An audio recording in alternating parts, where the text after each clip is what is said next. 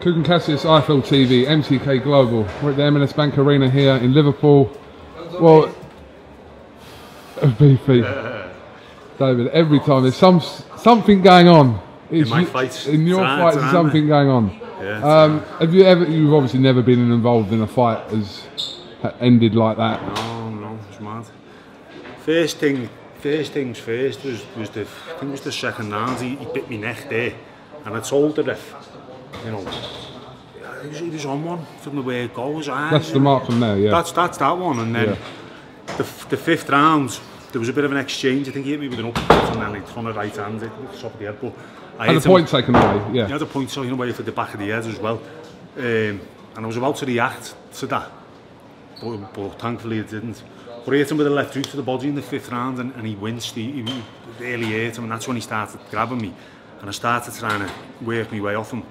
And he kind of rugby tackled me to the floor and that's when, when, he, when he took that little go, little chunk out. So uh, I think the ref seen that one. Well, obviously that was there to see, so so he, he threw him out. But it's just another, you know, it's disappointing. Because it's not the way you want to win that fight. You know, you, no, I you get the win by wanted to knock him out. disqualification, but it's not how you want to win it. I think I might have broke his nose in the third round, and it was, you know, it was always going to take a little bit longer to get the cleaner shots off with with uh, Kash Allian, because we do know each other and he is quite that's why I said in an interview he knows how to look after himself he can he can block and, and lean back on the ropes and everything like that. But um, yeah frustrating.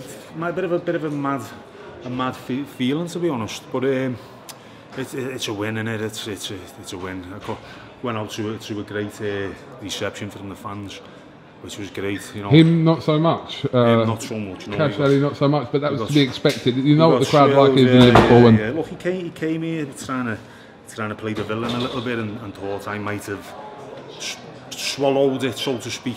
Um, Which is nothing wrong with. It's the, no, it's that's the fine. fight game, that- and that's, that's what fine. it is. Yeah, but Yeah. But you know, people just didn't, didn't take to it kindly. And, you know, there, we- there we go. Um, you know, it's done and dusted now anyway. It seems like on the when he was on the floor, he was on there for ages. I mean, I don't know how it felt like when he, He was on trying to pin me down. Pin you down. I was trying to get up, but he was he was like trying to stay down as long as he could for, for whatever reason. Did you say anything to him after the fight? I mean, When I said when I, when I said when I seen him no, after the fight. the fight, yeah, I Yeah. went, yeah, you had me there because he thought he had me. He was like, you fucked at the end of the rounds, and, and I said, you just blew your chance.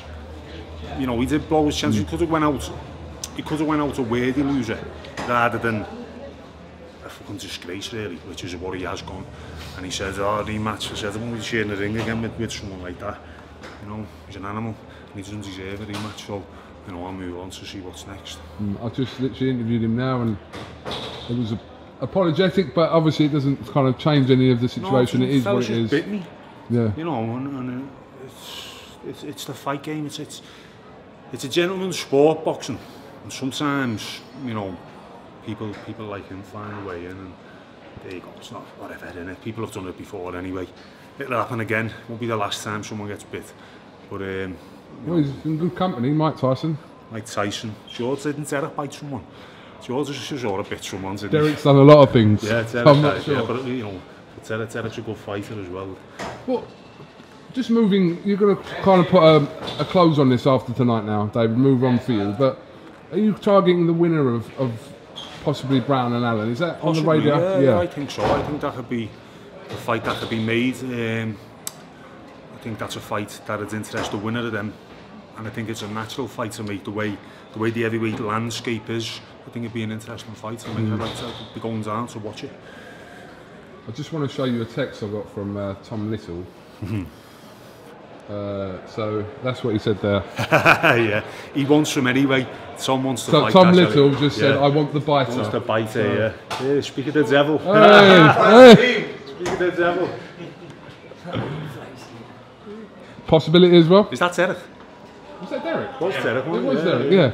Yeah. Shades on. Possibility.